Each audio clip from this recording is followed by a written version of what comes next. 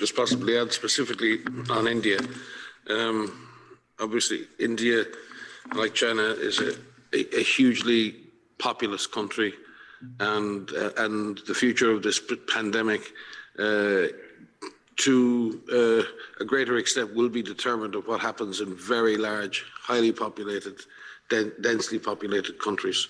So it's, it's really, really important that India continues to take aggressive action at the public health level uh, and at the level of society to contain, control, suppress this disease and to save lives.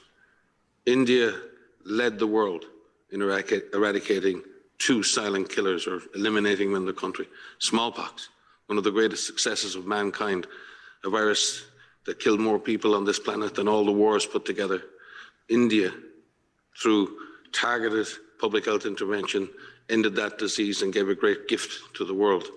India also eliminated polio, um, another silent killer, um, and did a tremendous job on surveillance and finding cases and vaccinating and doing all the things that need to be done. So India has tremendous capacities. All countries have tremendous capacities. When communities are mobilized, when civil society is mobilized, when, as the Director General says, heads of state and governments drive an all of society approach. There are no uh, silver bullets here. There are no easy answers. Uh, if there were, we wouldn't be having to, to, to work so hard. We've got uh, measures we can take now while we wait for other solutions, and we must take them now. So it's, it's exceptionally important uh, that countries like India uh, lead the way and show the world what can be done and, uh, and, and, and do as they have done before.